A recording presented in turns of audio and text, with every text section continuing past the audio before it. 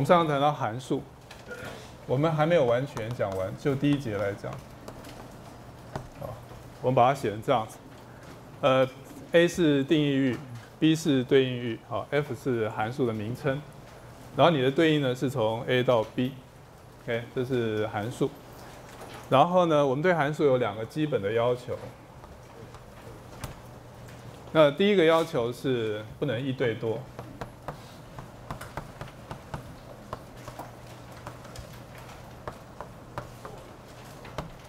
不能一对多。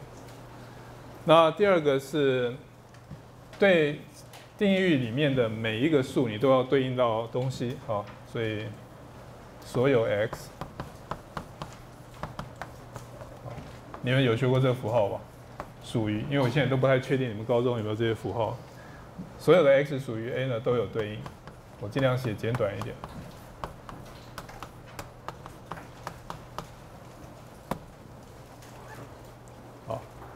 嗯，这个如果表现在函数的图形的话，意思差不多是这样。好，就是我画一个图，假设它是从实数啊，实数到实数的函数，就是单变数函数。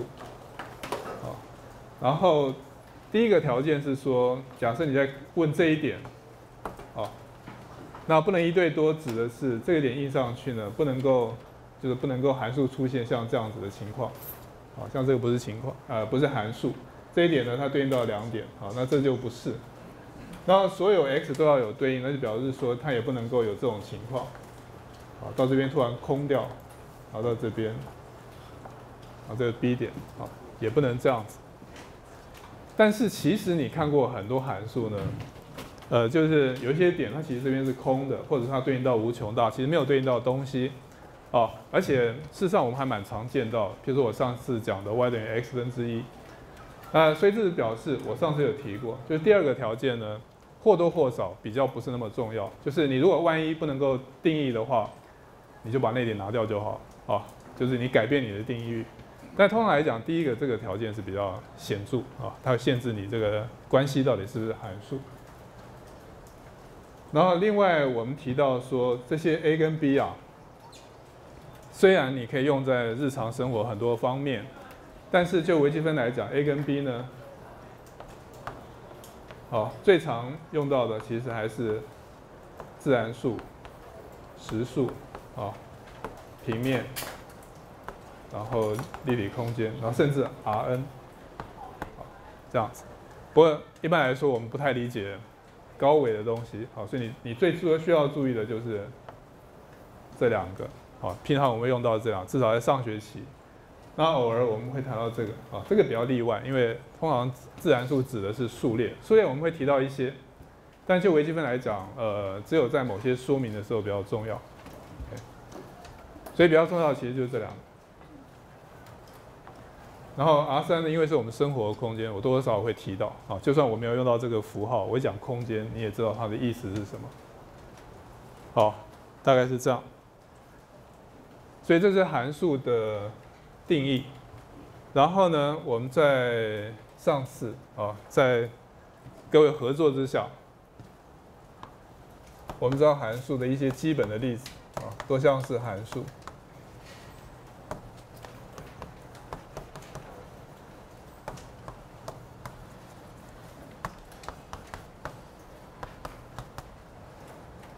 三角函数，还有指对数。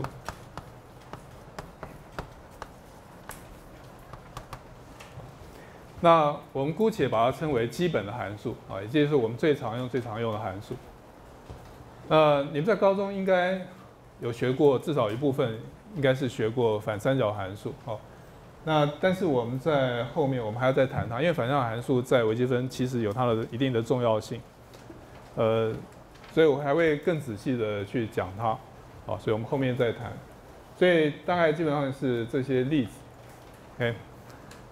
那这是我们上次礼拜二呢，大概大概就到这个位置。那礼拜二的时候，我其实没有时间提，好，就是还有一件事，是这个合成函数。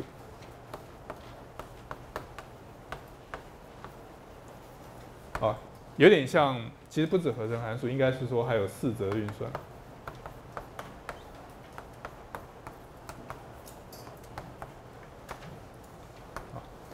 意思是说，如果你你把基本函数，就是我刚刚写在上面的这些，你把这些基本函数当做积木，哦，你当做或者当做原子。我意思是说，从这个地方，然后你现在开始利用加减乘除以及合成的方法，你事实上可以弄出很多的函数。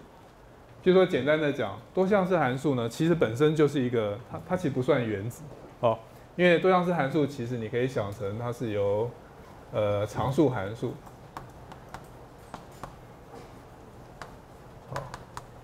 就是 y 等于 c，还有 y 等于 x，啊，你可以利用这两个东西呢，组合出所有的多项式函数，哦，那原因是因为多项式本身呢，可以拆解成很多单项式，这是第一步。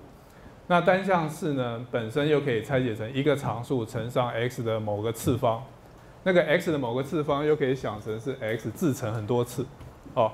所以你可以说，其实基本的积木呢是 y 等于 c，y 等于 x，然后你利用加减乘，你就可以得到多项式函数；你利用加减乘除，就可以得到有有理函数，这样子。哦，所以你可以把这个当做更基本的东西，因为它里面用到的函数是非常简非常的简单，这样子。呃，那三角函数跟指对数函数呢，跟多项式有理是比较不一样。哦，所以六个三角函数中间呢，sin 跟 cos。呃，如果只考虑四则运算的话，sin 跟 cos 是基本。好，这应该你们都知道嘛。其他的三角函数都是 sin 跟 cos 的某一个组合，哦，乘除的组合或导数。呃，当然你如果考虑合成函数的话，三角函数 sin 跟 cos 中间呢还有关系，哈，你可以把 sin 想成是呃 x 加二分之派，或者哎我已经忘掉了，好，就是加上某一个二分之派呢，它就会变成 cos，大概是这样子。呃，那那就意思会考虑合成。那指对数函数呢？呃，它也算是基本。好，但是我讲的还不是这样。我意思是说，不是我刚刚说这个拆解，而是说这几个函数，你在利用这个东西呢，你还可以再合成非常非常多种函数。好，譬如我讲最简单的和例子，譬如说 sin 啊 x 平方，比如说这样子。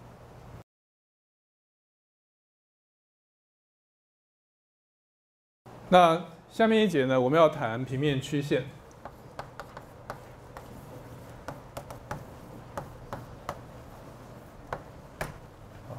你可以想成是函数曲线的进化版这样子。曲线是什么？反正弯弯的线。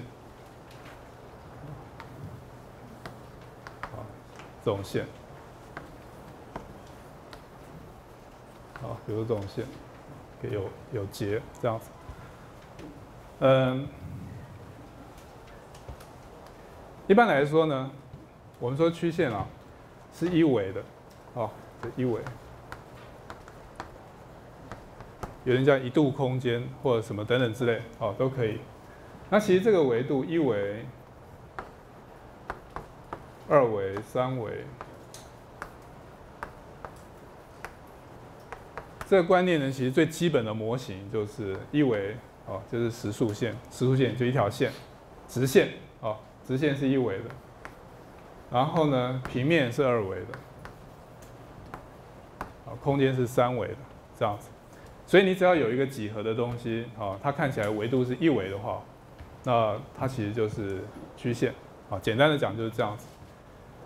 呃，你如果要比较生活化去想这个事情呢，一维的一维的曲线有点像这样子，假设你去玩一个游戏，这个游戏呢是你在一个，你把这个想成是水管，哦，想成是一个水管，然后你不知道为什么你就在里面了，好，所以呢，你在这个水管里面，你就想成你旁边全部被围住，所以你只能往前走或者只能往后，其实我也不晓得怎么往后，看起来只能往前，好，就有点像毛虫在那边伸缩的往前追，呃，这就是一维的生物面临的命运。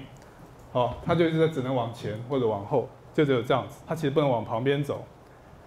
那你在二维，你看到它这么可怜，好，所以你以为你会很可怜它，因为它不能够往旁边走。那你为什么不往旁边呢？它只能往前往后。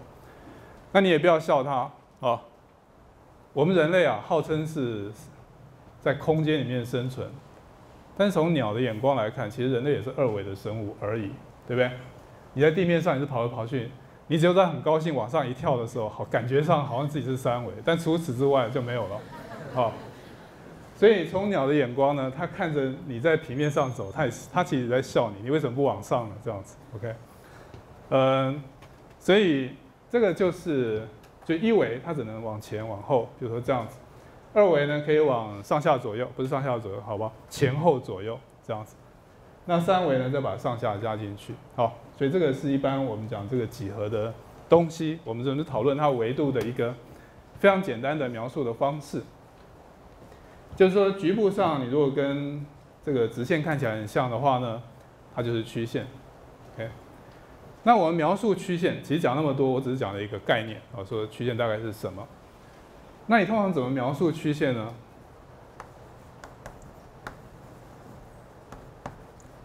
我在上一节里面谈过参参参数式，啊，参数式就是一个一维应到二维的函数。你如果觉得不太熟的话，你可以想 cosine t，啊，因为这个大概是你们最熟的参数式，啊，最熟的参数式是圆，啊，这是单位圆。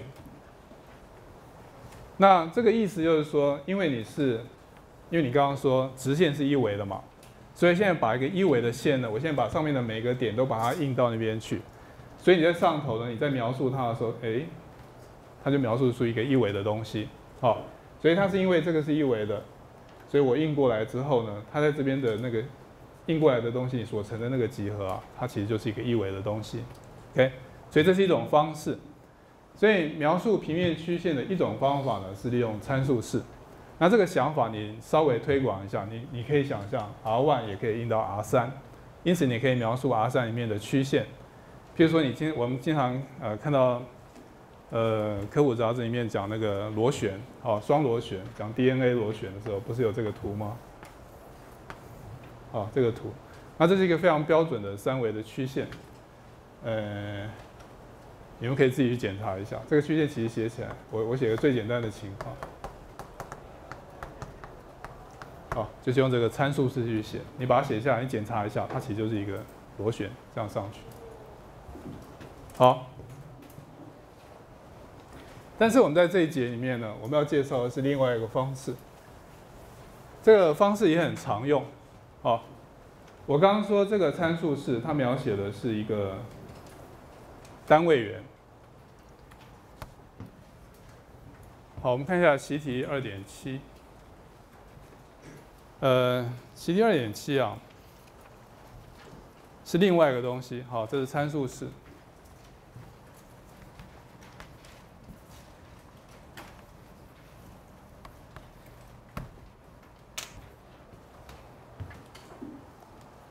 这个参数式，某种意义上来讲，其实比较简单一点，哦，因为它写成的是这样子，就是曲线的参数式。那因为这是单变数函数，所以感觉上你比较熟，哦，比起我写 x 平方加 y 平方等于一，我要用到两个变数的概念，啊，你觉得这个比较熟。但其实参数式呢，其实呃，某种意义上来比较啰嗦，哦，我们看这个例子就知道。好，那这是描写曲线的另外一个方式啊。我在前面一堂我也谈过这个事情。那这边习题里面有六个习题，请你说明，呃，这些是呃某些平面曲线的参数式。那你注意到我们我们的顺序上是先定义啊，平面曲线是用 f(x,y) 等于 c 来定义的。然后因此因此我现在在检验这些参数是描写某个曲线的时候，哦，它是比较后来的。顺序上是比较后来的，所以我们看第一个例子，就是你说明 cosine t，好，cosine t，sine t，我们说它是不是单位圆的参数？这当然当然是，好，这你很熟。现在只是说你检查，你在检查什么？我们说这个是单位圆的参数式，那它的意思就是说，它所描写描述的这些点全部要落在。呃，右边这个这个方程式啊，就是要落在这个方程式所描述的图形上。但是落在这个方程式我描述的图形上，意思就是这些点你要带进这个式，要那个等式要成立。哦，其实讲老半天就是你进带进去检查 cosine t 平方加上 sin t 平方，然后问它会不会等于一？好，那这当然这你们太熟，不当然等于一这样子。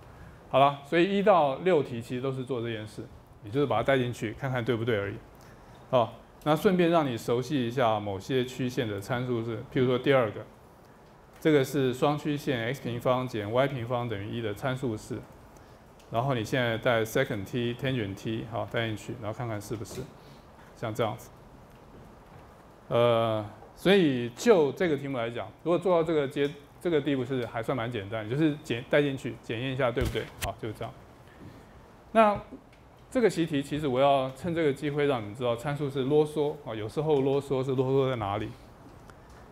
呃，我在下面写了一个注，就是参数式的图形可能只涵盖曲线图形的一部分，啊，这看它给的范围，它有可能只只只给了一。一个部分，啊，就是它是有可能走一走走的地方它不走了，好，其实我不晓得这个例子里面有没有二四，我看看，second 哦，呃，第二个是说 second tangent，你如果这样带进去的话，你所描述出来的不是完整的双曲线。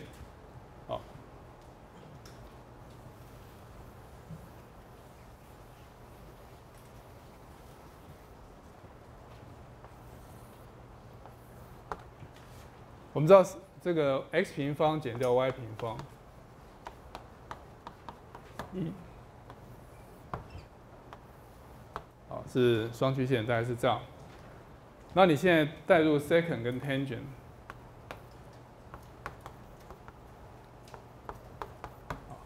那因为你有规定它的范围，所以你可以看到它它整个描述只描述出呃这一整条。好，就右边这一条，它其实没有描描描述到左边这一条，好，这是有可能的。然后第四个也有类似的情况，哦，就是说它只描述了中间的一部分，啊，这是第一个。另外一个是参数式也有可能在曲线上呢重叠或者来回移动，哦，就是明明曲线就好好的在那边，但是因为参数式是一个动态的观念，哦，你可以想成有一个点在上面移动。那一个人在上面跑步的话，那当然你要怎么跑都可以，你会一下跑快，一下跑慢，啊，然后你也可以跑去又跑回来，然后跑去又跑掉，像这样子。那这边给的例子是，譬如说第五个，第五个是非常非常典型，这个例子不是太好，但是就是因为它不是太好，可以让你看到这件事，好，因为第五个是 y 等于二 x 的参数式，这是直线 y 等于二 x，直线参 y 等于二 x 实在太简单了，好，哪里还需要参数式？那我们就硬硬写一个，那你可以看到上面是 t 三方减 t 两倍的 t 三方减 t，好，无论如何你带进去是对的，这没有问题。但是你可以看到它它就会有这个事情，好，就是呃，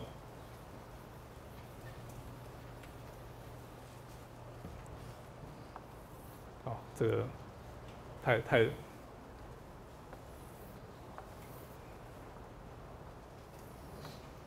好，大概这样，y 等于二 x。那你知道我们写那个参数的时候，你注意到一个事情，是因为 t 三方减 t，t 等于零，t 等于一，t 等于负一，其实全部都对应到零零这一点。哦，所以换句话说，它在这边啊做了一个重复跑的动作。哦，可能大概是这样，跑跑到这边，然后又跑回来，又然后又跑过去，这样子。那你光只是看这个直线，你实在看不出有任何哦这件事在里头。所以参数式跟用参数式来描写这些曲线的时候，上面是有一个呃不太一样的东西，好，有一个动态的观念。那有时候你嫌它啰嗦，但是有时候你会觉得它特别重要，好，如果这个东西在那个问题有意义的话，好，那不管怎么样，就这个习题来讲，我只是请你第一个检验一下，让你知道你怎么检验参数式是描述某个曲线的意思是什么，这是第一件。然后第二件事是提醒你，啊，有这些。就参数有这些比较不一样的表现，啊，提醒你注意。好，习题二点八我就不特别讲了。好，这是配合题。呃，我只有一个提示，呃，完全没有说你一定要把图形画出来哦，你才你才能知道。这个配合题完完全全不是考你作图，哦，虽然你要有一点点作图的概念，但是不是说你把图形整个画出来以后你才能判断。那这里面你要用上你各式各样你已经学过的所有东西啊来判断。那反正配合题最好的地方就是你会配的东西全部弄完之后，剩下的啊就是呃其他就对，因为刚好六个配六个这样子。好。但是其实你我们刚开头学单位元的时候啊，都不是用参数式哦。你们学的方式其实都是下面这个式子，对不对？这是你们常学的方式，因为这是用方程式的方式去定义它的。那这个概念上跟参数式不一样哦。这个概念上的意义是这样：我现在在平面里面。本来我有很我有两二维的方向可以自由乱跑，本来是这样子，但是你加进一个条件之后啊，这个条件束缚你，让你只能朝着某一个方向啊，这有点像你本来是在呃平面上跑，可是因为它现在规定你要你要遵守这个规则，所以呢，它你只好慢慢去算它啊，然后导致这个规则在你解它的时候呢，基本上你就得到它呃怎么讲？如果如果用一个比较呃，概念的方式去谈它，就是说，因为你加上了一个条件，这个条件呢，使得你从二维的东西变成一维，哦，降下来。因此你在二维的本来这个空间里面，平面里面，你现在加上这个条件，所以它就变成一维。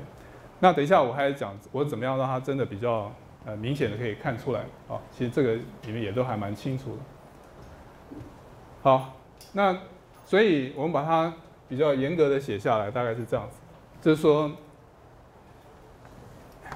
如果你考虑一个两个变数的函数，好，那我上次有讲过，两个变数函数就是你用 x、y 写一个算式，好，把它写出来，然后你令它等于 c，c 是某一个常数，常数，好，可能是零，事实上基本上你都这边都可以写零，我现在只是把它写成比较一般的样子。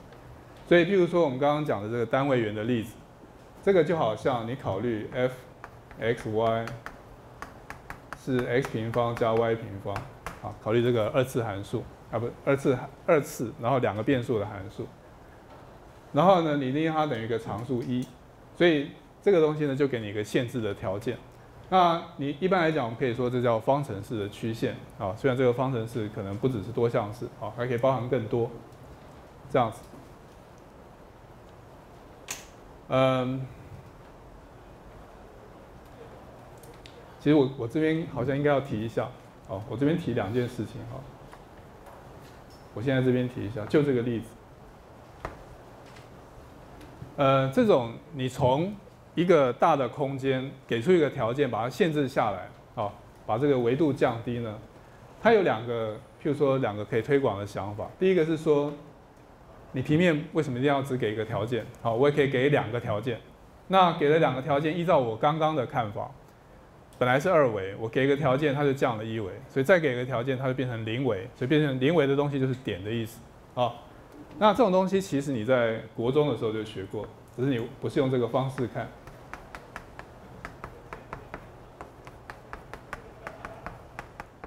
好，比如说方程组就是一个非常标准的这种式子。方程组呢，就是我现在考虑平面，你现在考虑第一个条件，所以它把它降了一维，所以变成一根直线，对不对？这个东西呢，其实是另外一个限制条件，所以它会变成另外一根直线。那这个东西我们通常解释是，呃，它是两根直线，所以它会相交啊。相交之后呢，就变成一个单纯的点，点是零维的。好，所以这是我们刚刚这个想法的一种推广。好，譬如说像这样。呃，我刚刚讲这都是原则，那这些原则呢，其实都有一些你你都可以勉勉强强找到一些例外。好，譬如说平行直线根本不相交。或者重叠的直线相交的维度还是很高，但这些对我们来讲都是例外。好，那它的原则仍然是重要的。第二个可能的推广是说，你事实上也可以在三维里面考虑完全一样的东西。譬如说，我给你三维，然后我现在加进一个条件，那应该就变成二维。二维不应该是面的东西吗？我们在高中看过的例子大概是这个。啊，比如这个例子，你在三维空间里面，你现在加进这个条件，那这东西就是球面，啊，就是单位球面。单位球面呢是一个曲面，OK。虽然我们暂时不会谈到这些东西，但是这些是一个基本的想法，哦，你们就把当当做尝试记记下来。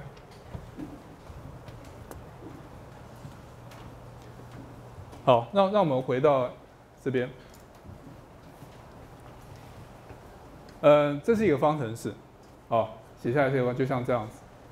那我们说它表示一个图形，好，这个图形是什么？因为我们讲曲线，曲线是一个几何图形，从方程式到图形中间还差一点点，好。那当然，其实我们通常就是这样写，那是表示说我们假设你已经知道这东西怎么做。那你如果不知道的话，你记得，其实我们考虑的就是所有那些点，啊，因为你怎么画图，你就是要把某些点给找出来，然后把它描起来嘛。那这些点就是满足这个方程式的那些点，这样子。所以我们通常把它写成这样子，这是一个集合的符号。哎，好吧，我不要用小 f，我写大 F 好。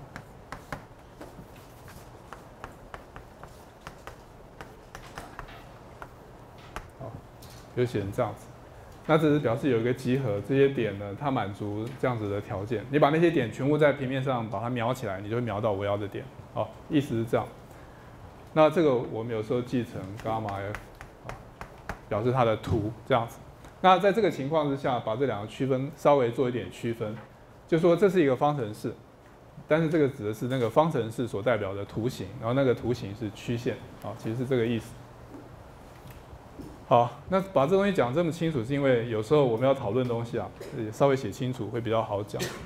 譬如说。所以我们来看平面曲线的例子。那刚刚这边当然有一些例子，好，呃，我我讲一个很无聊的事情，譬如说函数曲线是不是例子？好，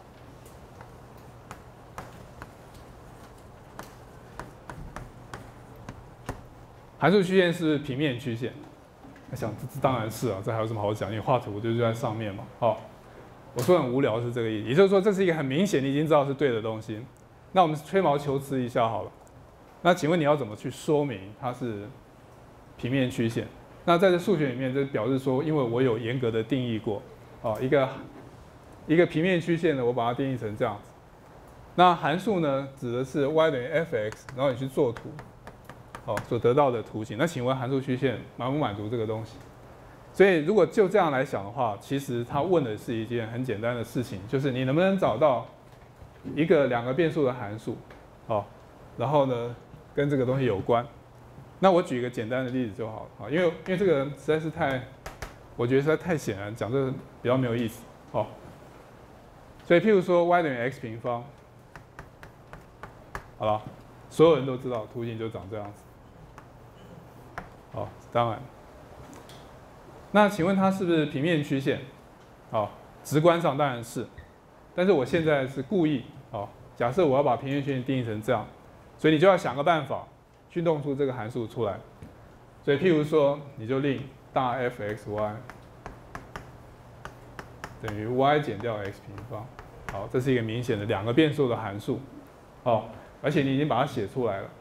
然后呢，我令它等于零，比如这样，那这个不是相当于 y 等于 x 平方吗？就是 y 等于 x 平方就像写成这样，OK。那写成这样之后，譬如说你去检查它的图形，从这边的眼光，这边的意思是说，它的图形啊，伽马 f，它要满足的是你把它带进去，所以是 b 减掉 a 平方等于零。好，就是就我们刚刚来讲，它图形是这样子。但是呢，函数图形是什么？函数图形是说你要考虑所有的那些点。A b，好，然后 b 要满足函数的关系啊，在这边，对不起，a 平方，这样，那因为这个式子，显然就是这个式子，啊，因为它关系是一样的，所以当然这两个两个图形一样。如果如果 a b 满足这个式，a b 就满足这个，那反过来，如果它满足这个式，当然就满足这个式子，好，大概是这样，有没有很无聊？好，谢谢。这显然是对的，好了，所以因为太无聊，所以考试不会考。好，那这个函数的例子呢，可以让我们得到另外一些很我们还蛮常用的例子啊。这个要知道，我们刚我们刚刚说函数，好，函数图形是平面图形，对不对？那你如果利用完全一样的想法，但是你把 x 跟 y 对调，好，这个在微积分还蛮常用到，所以大家大家对它有一点认识。所以你把它对调，对调之后呢，其实你也会画出图形，因为就方程式来讲，它只它只是给了个方程式而已，你还是可以做图。好，呃，我举几个例子，譬如说，x 等于 y 平方，啊，比如说这样子，譬如说 x 等于 sin y，啊，比如说 x 等于二的 y 次方，啊，比如说这样子。那其实理解这个最好的方式就是，你把 x、y 角色对调，现在开始把 y 想成自变数，x 想成应变数，所以就图形上来讲，当你对调的时候，不要把 x 轴跟 y 轴也对调，哦，这样就什么也没得到。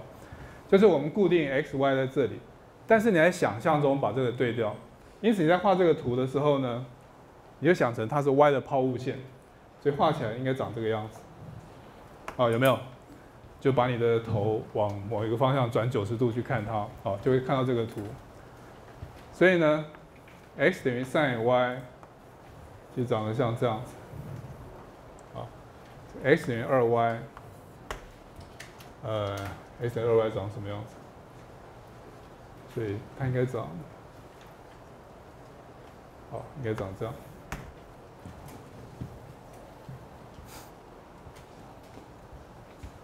好，想成你的眼睛就头转成这个方向往这边看，啊，还要把那个正负方向要反一下。好，这些图形除了后面这个，前面两个图形都不是函数图形，啊，除非你的函数指的是 y 是自变数。但是我现在恢复正常的来想，我只是把方程式写成这样子，然后你去做这个图。因此，从我们正常的眼光来讲，这些图形其实都不是函数图形，因为。这个点会对应到很多点，这个点会对应到两点，对不对？好，大概像这样子。呃，但是呢，我们其实多少知道说，我可以把这个重新把它写成 y 等于正负根号 x，啊，比如说像这样子。那你用这个方式重新去想它是函数，我们等下马马上再来谈这个事情。呃，时间好像来不及。好，没有关系，我先把一些例子先举完。好，所以这是第二类的例子啊。我们刚刚已经有两类的例子，一个是函数，一个是另外一个方向，把 x、y 导过来的图形，这也是一类。然后呢，再来一大类例子，其实也就是比较一般的例子，呃，非常常举的，包括习题里面，好，像这些。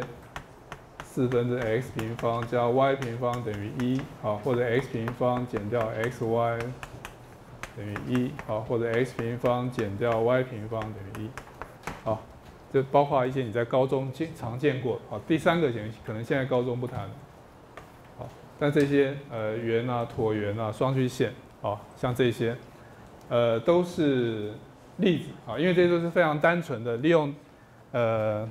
两个变数的多项式啊，然后去做出来的方程式，然后它在这个条件之下得到曲线。呃，你们可以看一下第八页下面的图形，它其实有给很多。啊，那这些图形其实都是二次而已。好，你完全可以想象的，应该有更多更复杂的图形。好，那。今天呢，我们最后要讲一个事情，就是这只是介绍平面曲线。那我要针对我刚刚讲的这件事情，好，我要稍微再多讲一呃件事。这个图形我刚刚把它解成 y 等于正负根号 x，它的意思是这样，就是说上面这一段，这个是 y 等于根号 x。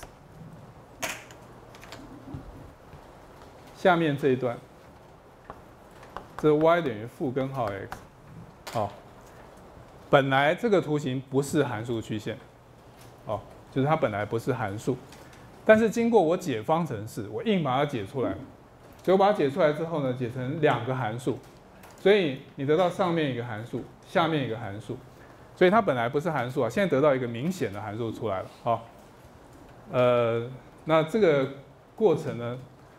呃，有点像说，它本来这个函数是隐藏在函数这个这个方程式里面，但是你现在透过这个解方程式的方式，把 y 呢解成 x 的的函数。那这样子，但是它的问题是它不是有单纯一个，它不是单纯一个函数。因为如果是单纯一个函数，我们刚刚就已经得到函数图形了。好，所以它是得到两个函数的组合。好，比如说像这样子。那再譬如这个例子，x 平方加 y 平方等于一，你也完全可以做一样的事情，因为 y 平方等于一减掉 x 平方。所以你去解它以后呢，得到 y 等于正负一减 x 平方，好，所以一样的，你得到一个上半圆的函数。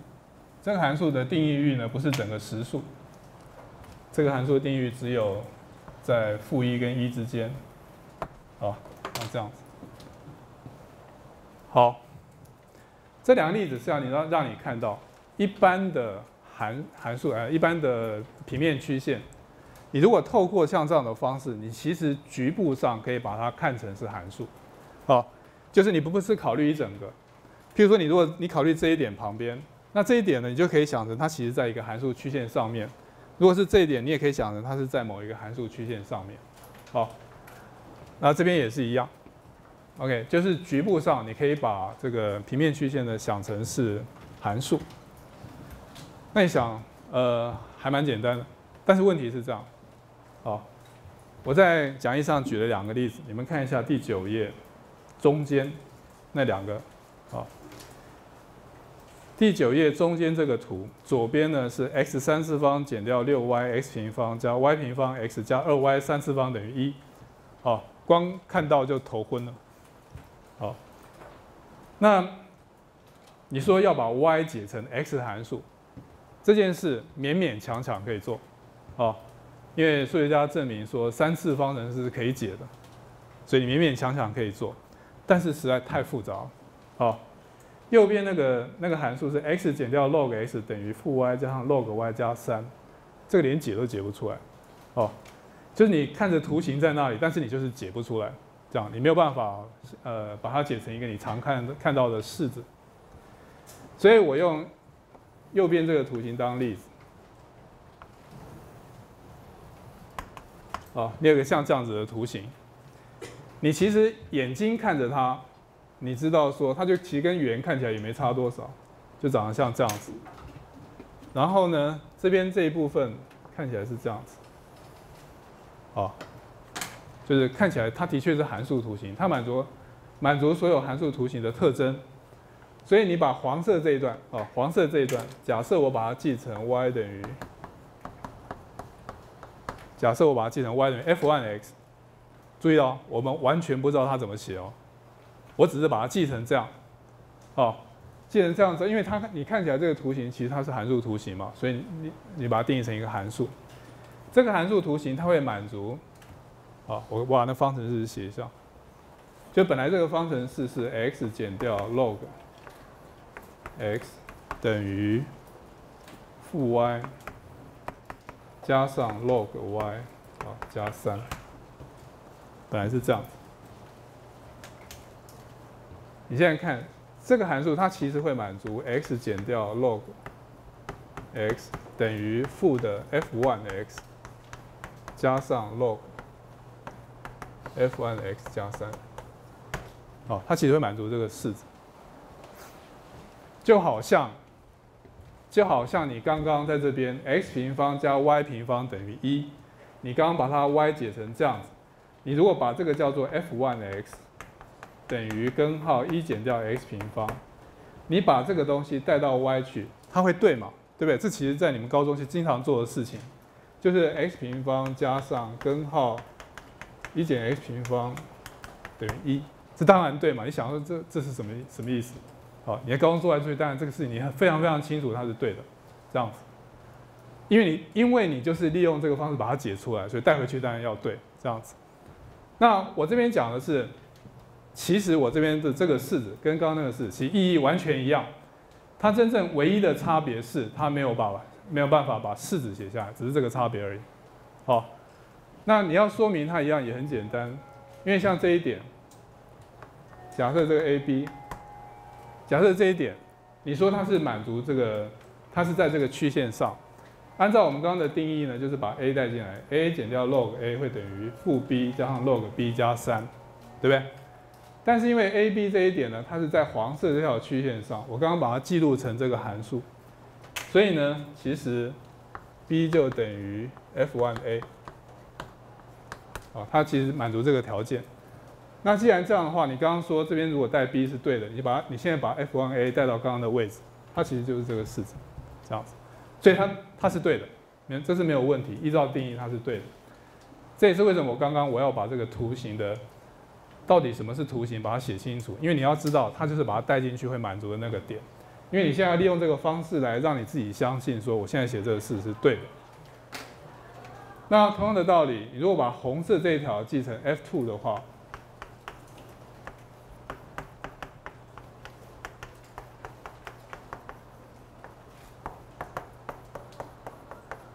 好，它会得到，它也满足这个式子，OK。那这个这个东西呢，其实在微积分里面很重要，好，所以用黄色来写。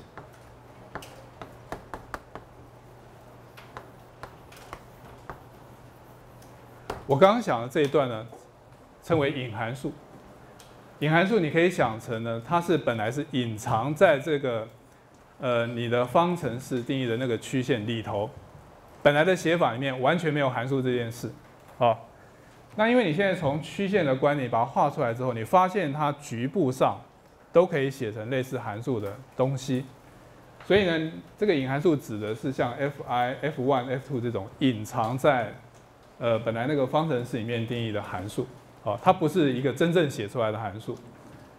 那隐函数呢，有一些情况，像刚刚这种。它是可以被明显的解出来的，所以它有一种由隐到显的过程。好，这种哲学。好，就从从隐隐函数呢，突然变成一个显函数，因为它很明显的写成了一个函数。但是啊，有些隐函数它就是隐在那里，它不出来。啊，你你只能用这种方式跟他讲说，我把你叫成一个函数。但是呢，其实它是没有办法解出来的。呃，所以这个是你这个跟高中有一个很大的跳跃。啊。我相信各位在高在大学之前，你们所学的所有的函数一定都是用明显的式写下来，所以你认为明显写下来的式才叫做函数，那这个也不能算错，因为事实上你以前看到的所有例子都是这样子。但是自从上次我们把函数的定义稍微写成比较抽象之后啊，它就允许一些可能性。那在这个地方你要记得，就是说你不见得是写成一个式，事实上你也有可能看过，以前你也可能看过类似这样的式子。好，我在一分钟内结束。好，比如说，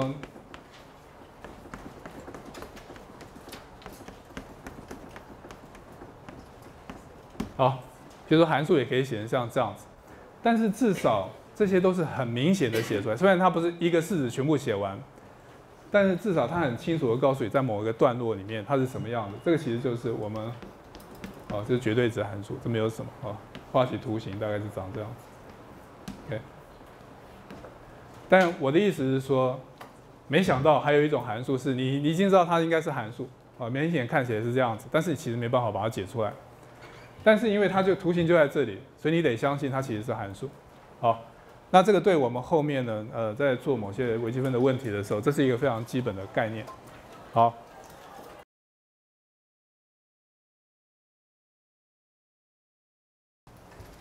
这个东西我们称为线对称。从上面这个图形到下面这个图形，中间有个对称。那其实这个你们从小学就开始，我画这种图基本上是小学的图。但是对称其实通常讲起来有两种可能的呃意思，一个是这是两个不同的东西，从这边啊，然后你经过这条线对称，把它变下来。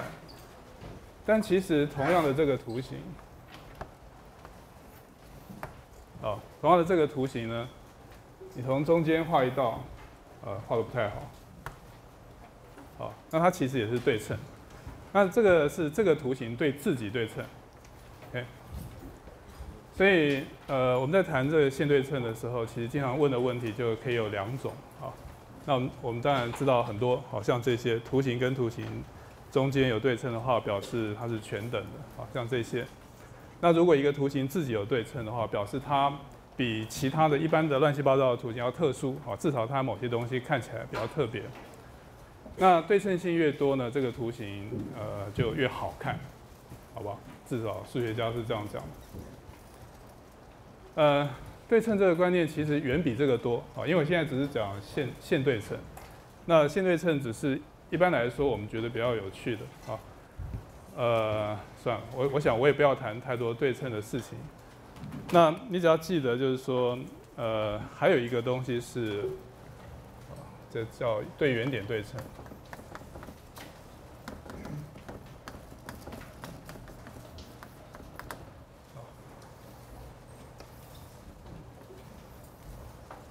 就是这个图形，你把它转一百八十度，好，这是对圆点对称。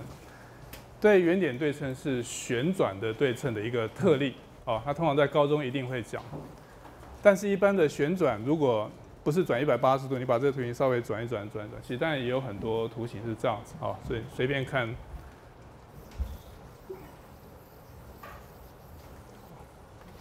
就随便画一朵花，啊，你你稍微转一下，它会转回它自己。那在这个情况之下呢，呃，你就有所谓的旋转的对称。好，但是我没有要上几何课，所以我没有要讲那么多。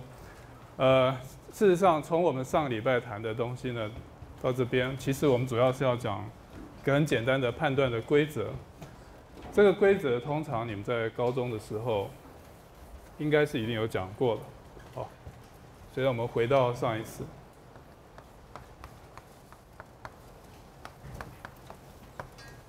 上一次我们讲到，我们怎么用一个呃，就是两个变数的函数呢，给给一个限制。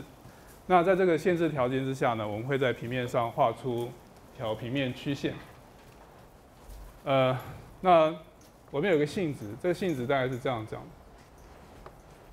在讲义上有写啊，就说如果这个两个变数的函数呢，满足一些特别的性质的话。去举例来讲，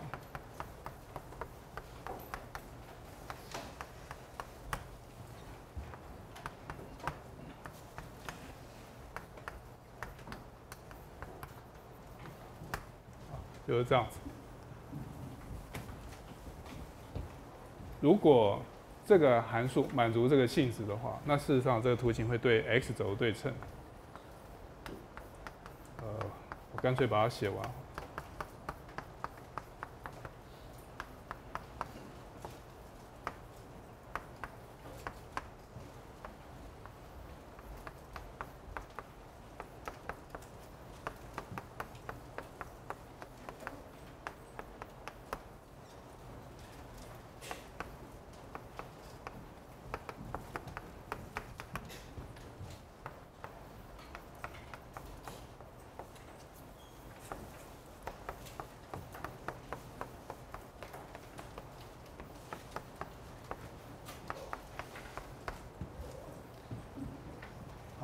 就是这四个，但有时候大家会加第五个，哈，呃，没有关系，我们就写这四个。呃，其实一二四都是线对称，啊，呃，圆点对称不是线对称，OK，圆点对称是旋转的对称，就是转一百八十度。呃，那我们主要在今天一开头是要来探讨说，呃，我怎么知道这是对的？啊，哦，对，我要先提醒一下。这些相等啊，这些相等的意思，不是说你把它带进去之后，然后做一系列的代数变换，然后把它变成一样，不是这个意思。这边的相等啊，这一定要小心。这边的相等指的是你把它带进去之后，然后跟这边的形式看起来就一样，OK？不是经过运算以后一样。这个我等一下再举一个反例的时候再来谈这个事情。好，那目前为止我暂时先这样写着。那我们怎么怎么知道这是对的？呃，这个并不难，好，只是不晓得你有没有想过。那你为了要说明这件事情呢，我举一个很简单的东西，啊，譬如举举第一个例子好了，好，那因为你现在要谈对 x 轴对称，表示你要讲对图形的对称，对不对？所以呢，第一个，上次我定义过，就是什么叫做这个图形。那图形严格的写清楚，就是考虑平面上那些点啊，这个点呢满足这个方程式，那这就是我们所谓的函数曲线啊。从一个代数的式子，那现在变成一个几何的图形，那中间的转化就是透过画点，好，那就是这样子。好，那我们想要证明这个图形对 x 轴对称，但先决条件是你要知道对 x 轴对称的意义是什么，对但是因为这个属于相当简单的部分，所以我就不太解释这个事情。A、B 的对称点在哪里？把它画下来，好，这很容易看，就是 A 负 B，好，这是如果有两个点对 x 轴对称，那你用坐标去描述它的话，它中间就有这个关系，啊，譬如说这个图形，如果我说这个抛物线对 x 轴对称，表示它上面这些点呢一定都满足啊刚刚写的这些条件，就是它们的 y 坐标呢会差一个负号。相对应的两点。好，那我现在这个 f 这个图形完全不知道，好，因为我我不是举例子，我现在讲的是一个抽象的方程式，你有一个呃几何图形，一个几何曲线，所以事实上你要说明的是说，好，我希望做的大概是下面这个事情。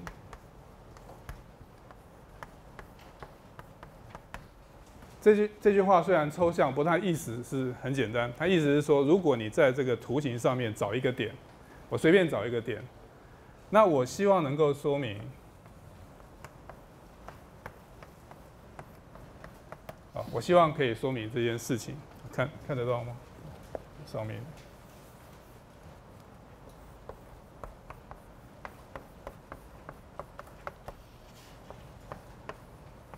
啊，就目前我不知道。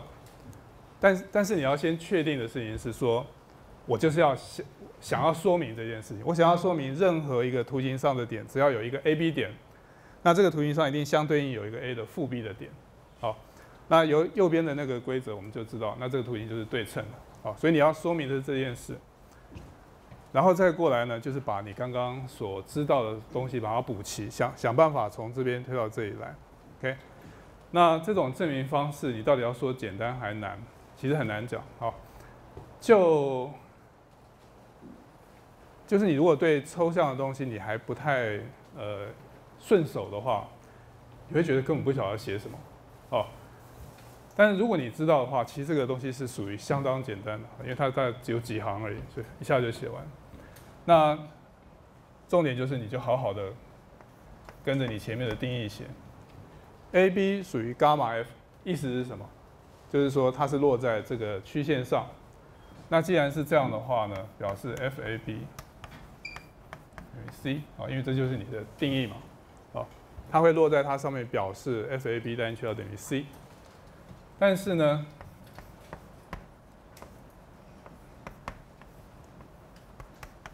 从我们刚刚的条件啊，第一个条件，我现在是要说明一啊。从刚刚第一个条件，因为我知道这两个是一样的，所以 f a b 你把它带进去，f a 负 b 带进去等于 c，好，这样子。那既然是这样的话，它就落在这个图形，就是 a 负 b 等于 c，表示 a 负 b 这个点也落在伽马 f 上，所以你这样子你就说明了这个点，好，也落在它，所以这就不是问号了，好，这样。所以其实很简单嘛，好，你就是把所有的你知道东西写出来而已，好，这就是这个图形，在这个图形上就是这个意思。那因为刚好这个函数满足我前面讲的，所以你把它带进去，它就满足这个意思，好，就得到这个式子。那因为它满足这个式子，就表示它应该落在这个图形上，这是图形的规定，所以你就自然而然就得到这个事情，好，所以很简单。呃，所以其实呢，关于呃，第二个、第三个，其实你都可以这样做。那原因是因为你对这些结果你都很熟。譬如说，你如果是对这是呃 y 轴，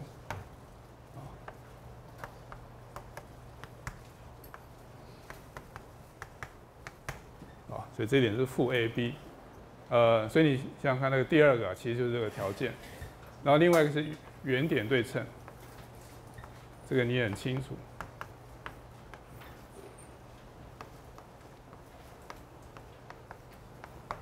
这是负 A 负 B，好，所以你发现呢，你如果要看这些规则啊，其实关键是啊，关键是最右边的式，而不是这个式子，好，这式子只是一个形式上的证明。它的最关键的东西是你知道，当有当有对，当有当有对称的时候呢，它的中间的关系是什么？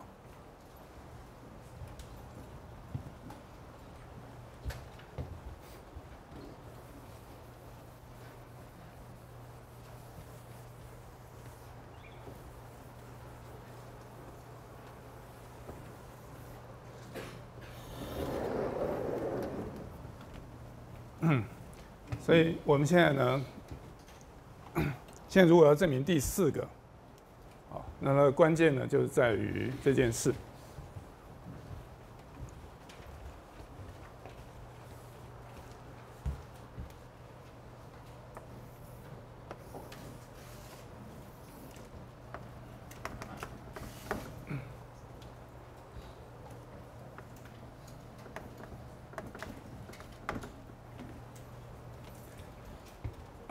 请问 A、B 的对称点是什么？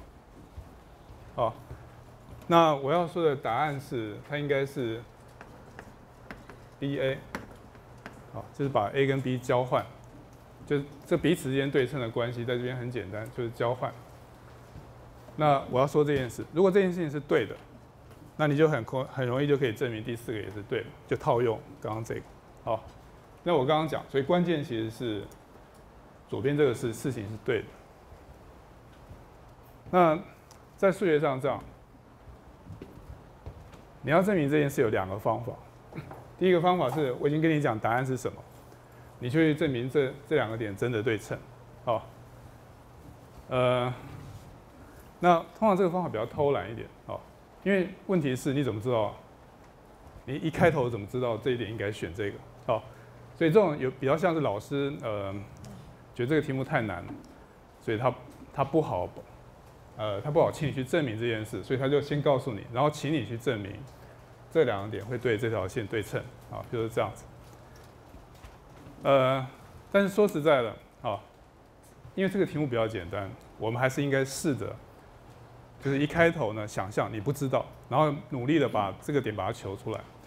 因为你如果会做这件事情，其实基本上你就可以做，对任何的线、任何的直线你都可以做，好。而不是说等等着人家跟你讲这边一个点，然后你去想办法证明它们对称，这样子，OK？所以呢，至少在这个简单的情况，好，那我们假装我们不知道，然后我们想办法来说明它应该是我刚刚讲那个答案。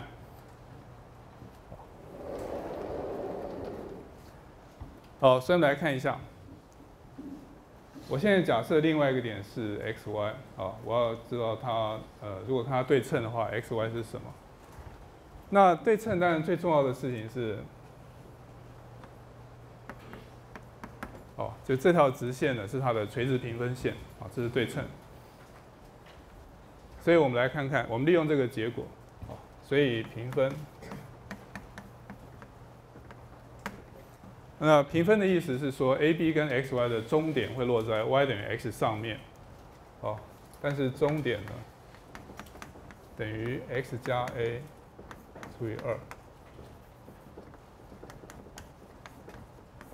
啊，这是终点。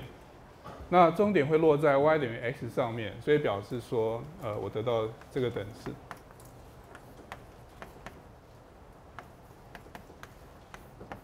好，这是第一个式子。好，平分，然后垂直平分，第二个是垂直。呃，我假设各位向量都学的最至少基本的学过了，好。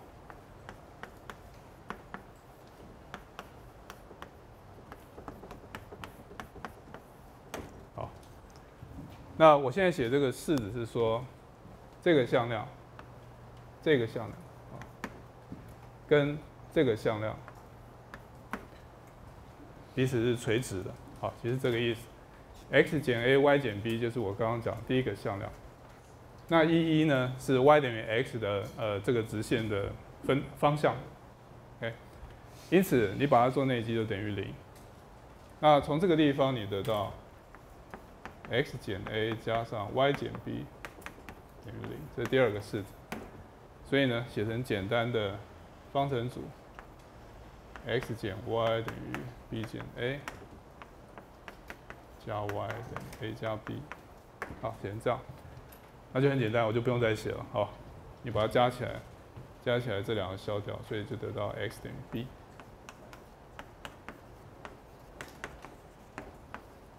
好，得到这个结果，这样子。好，这是一个简单的。呃，几何问题，所以写这个我只是说鼓励你们，反正碰到这种问题要想的时候，就是直接做做看，啊，因为你这个会做的话，譬如说下一个你就可以问跟 y 等于负 x，好，如果对称的话，点满足什么样的条件？那如果你真的把它求出来了，你在这边你就可以自己证明一个定理，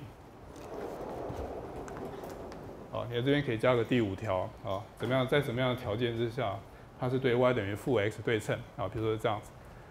呃，那很多很多东西你都可以做。好，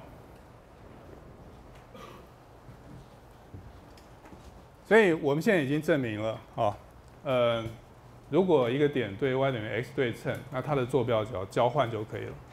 那这个想法其实我们后面很快还会再用到，好，因为对 y 等于 x 对称这个事情，呃，其实其实是有一点重要的。好，到这边也没有问题，就是，呃，我就直接套用这个就可以了。好，好。那我刚刚说要小心的事情，好，我到最后再来谈。在讲义的第第十页，好，就在性质二点一的下面，我写了一段话。这段话是说，嗯。请你注意，性质中的反序数不一定成立。哦，就对称的话呢，这两个间是相等。嗯，其实这个东西也是要比较小心一点描述。好，我举的例子是这样，譬如说 y 等于你令 f(x,y)。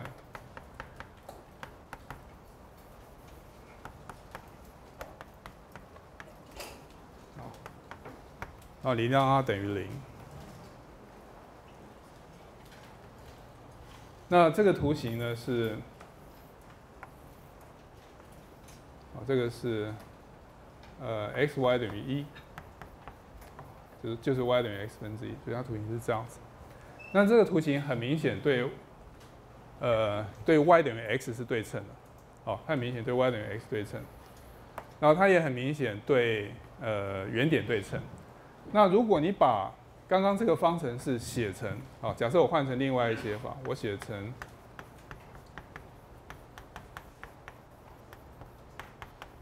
啊，假设我把它写成是这样，那个戴帽子的 f 是另外一个函数的意思啊，我我懒得再去写成一个 g 啊，我就说反正这两个是不一样的。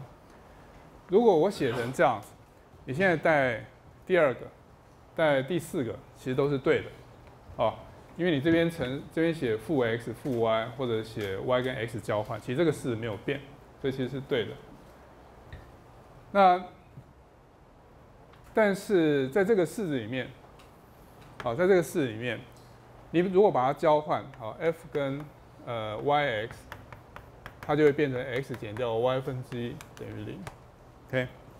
那形式上跟刚刚是不一样，但是呢，你可以做一些。呃，推理把它一直算算过来是一样的，好。那我我为了简单起见，所以我我先先说这个等号呢，我就是把它写成呃比较，就是说这个等号是要形式要形式上要长得一样。那长得一样之下呢，那你就不能够很直接的用刚刚那个反序数，哦，就是说如果它对称，那我说这两个式子一定一样。那这件事情到底对不对？至少就形式上来讲，看起来是不太一样。好，那我的意思是说，你要用这个式子的时候，你要小心。OK。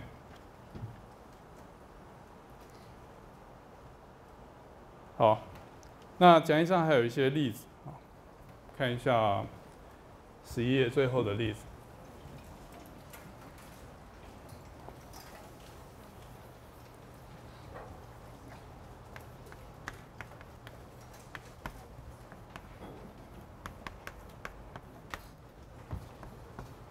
我们看最后一个例子。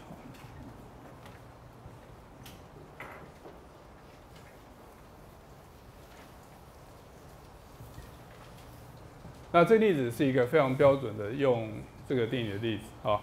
那你可以检查一二三四都是对的啊。这在其实你在高中的时候可能都做过。这意思就是说，你把 y 代成负的，式子没有变。你把 x 代成负的，式子没有变；你把 x 跟 y 代成两个都代成负的，都没有变。好，那比较有趣的是，你把 y 跟 x 交换，式子还是没有变，这样就是式子还是对的。所以呢，很显然从这个地方我们知道这个图形对 x 轴、y 轴、原点呃 y 等于 x 都对称。呃，那当然因为这是圆嘛，好，那圆对我们来讲是最漂亮的图形，所以呃它都对称，这样子。事实上，如果你愿意的话，好，你可以发明很多关于呃过 y 等于 mx 好对称的话，那这边应该要怎么写？你会发现呢，x 平方加 y 平方啊，全部都满足这些式子，啊，它对所有的直线都对称。好。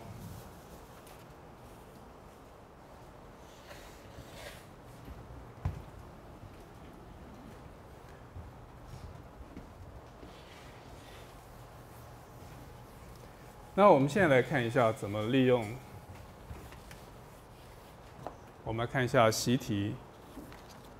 啊，我们稍微看一下习题好了。十一页，习题二点二跟二点三，这个是上一次的。好，这是显函数跟隐函数啊，不是二点二是显函数。好，请你把它解出来，在可以解的范围之内。二点三呢，就是用刚刚的性质来判断曲线的对称性。OK，这是第二点三。那我们跳过去，我们来看习题二点四。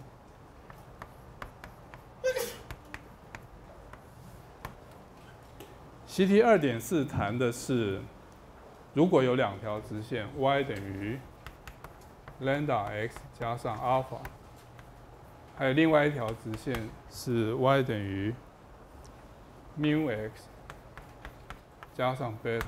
我好像不应该用希腊字母。你们对希腊字母应该不是很熟，帮我把它换一下好了。我留阿尔法跟贝塔这两个你们比较熟，我写 m 跟 n 好，这样子。那现在如果我已经知道这两条直线对 y 等于 x 对称，请问它的系数有什么关系？我把它写定了哦，m n 阿尔法贝塔我都写定，所以它们中间有个关系。然后他希望你证明这个关系是这样。m 乘以 n 要等于一，然后另外有一个稍微复杂一点的关系，呃，我等下我等下把它推出来，啊，就知道。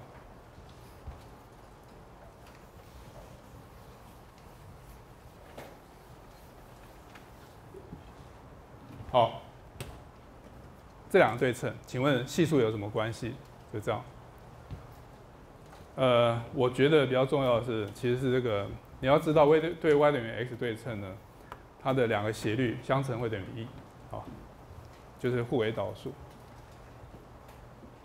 那要怎么做？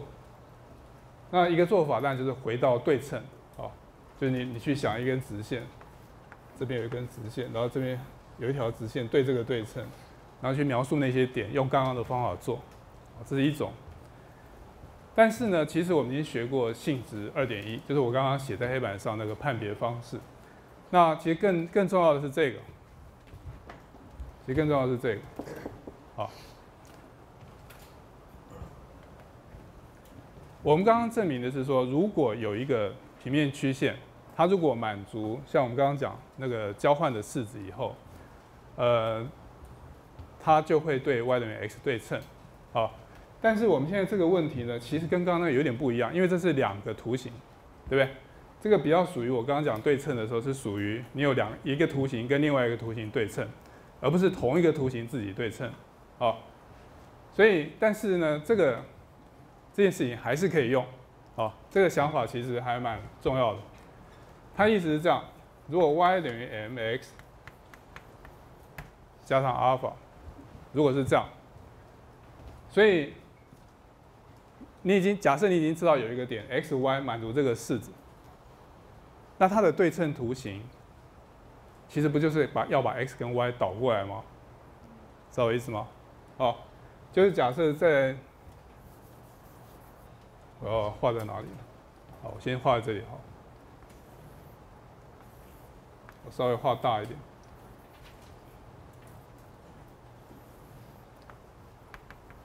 好，这是 y 等于 x。假设我现在有一个图形，这直线，好，这直线是 y 等于 mx 加 k。那你在上面有个点 AB，假设是这样，那它的对称的直线，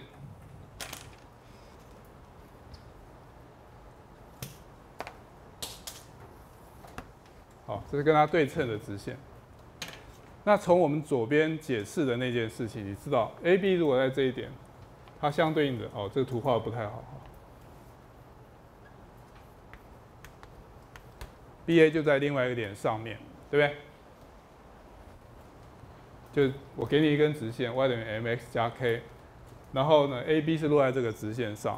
你现在想要知道这根直线对着 y 等于 x 对称以后的那个直线怎么写？至少至少你知道说。如果 AB 在这个直线上，那么 BA 就在红色这根直线上，这样子，OK。好，因此它跟它对称的直线，其实指的是把 x 跟 y 倒过来就可以了。因为 AB 如果落在这边，这表示什么？表示另外一个这边的 BA 啊，它在经那个直线要对，所以我把它写过来。啊，你你们稍微想一下，这个对不对？我现在说，你只要把 x 跟 y 对调，这根直线呢，其实就是红色的这根线，这样子。因为如果 AB 满足这个式子，啊，如果 AB 画在这边，就 B 等于 m，a 加上阿尔法，OK。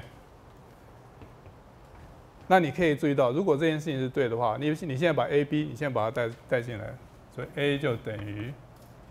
呃，不是，就是呃，啊，你要倒过来，B A，所以就是 B 等于 M A 加上阿尔法，这样，所以它其实是同一个式子，哦，它同一个式子，但是你现在 A B 扮演的角色不同，本来是 X 坐标 Y 坐标，现在变成 Y 坐标 X，你把它倒过来，所以呢，这个式子刚好跟这个式子呢是对这个对称，因为它满足了所有的点。哦，就这个点如果落在这个直线上，你就注意到另外这个 B A 点完全就落在我现在写的这个直线上。OK，这看起来有点悬，你稍微回家稍微想一下，哦，就会清楚。因此你很快的，好，你利用这个技巧，其实你很快的就知道这个直线应该是 y 等于 m x 减掉 m 阿尔法。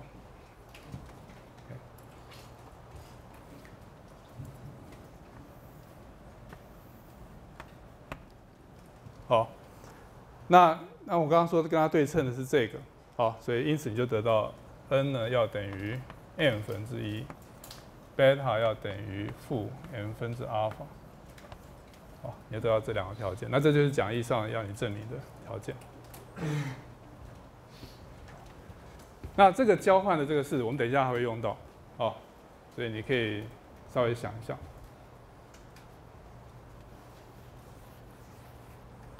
这个是习题二点四，呃，我没有说你别的方，你用别的方法不行，好，别的方法也可以，就是说你如果要只要慢一点，哈，把那些点啊、角、垂直平分的东西好好写一下，写清楚，那当然也是可以。